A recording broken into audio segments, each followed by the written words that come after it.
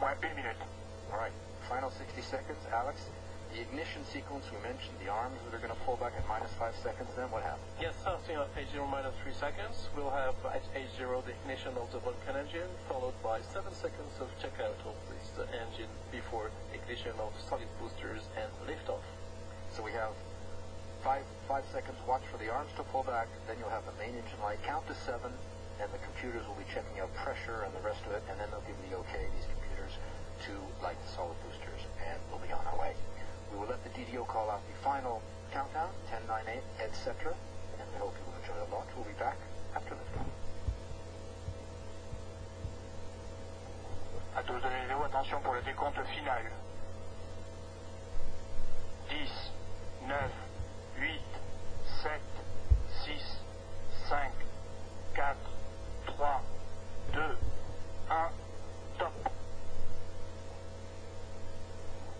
Allumage Vulcain. Allumage des EAP et décollage.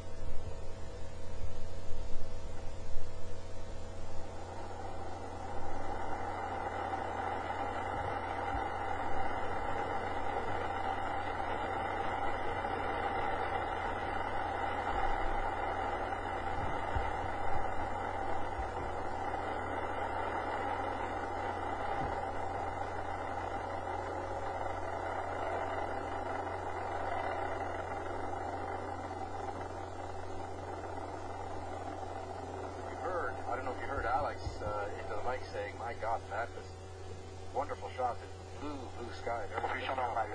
Huge daylight. Something we don't see every day. We hope you enjoyed that. We'll have some replays at the end of the broadcast. You can see it again. 770, 770 tons lifting off at uh, H0.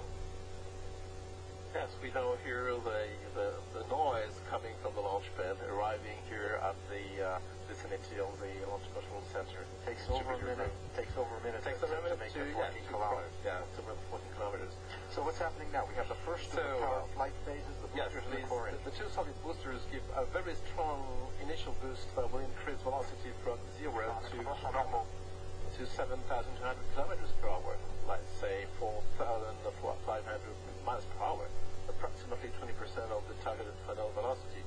The Just said that all parameters of the flight are nominal. Paramètres bons sont normaux. So we're doing fine. We have uh, we're into the first powered flight phase. Ariane has three powered flight phases, and one is unpowered. We'll describe each of them in turn. You can follow along on her trajectory. Right now, as mentioned, the two solid boosters and the core main engine are burning.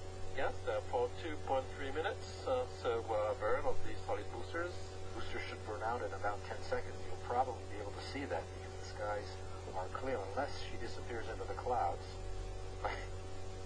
And after separation, we shall have lost uh, 75% of the mass at liftoff. Séparation, piquetage d'accélération à poudre. right on time. The boosters, the DDOs call out the booster of separation.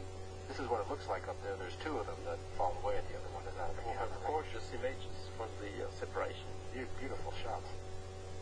So into the second powered flight phase now. The boosters have done their work. They are separated.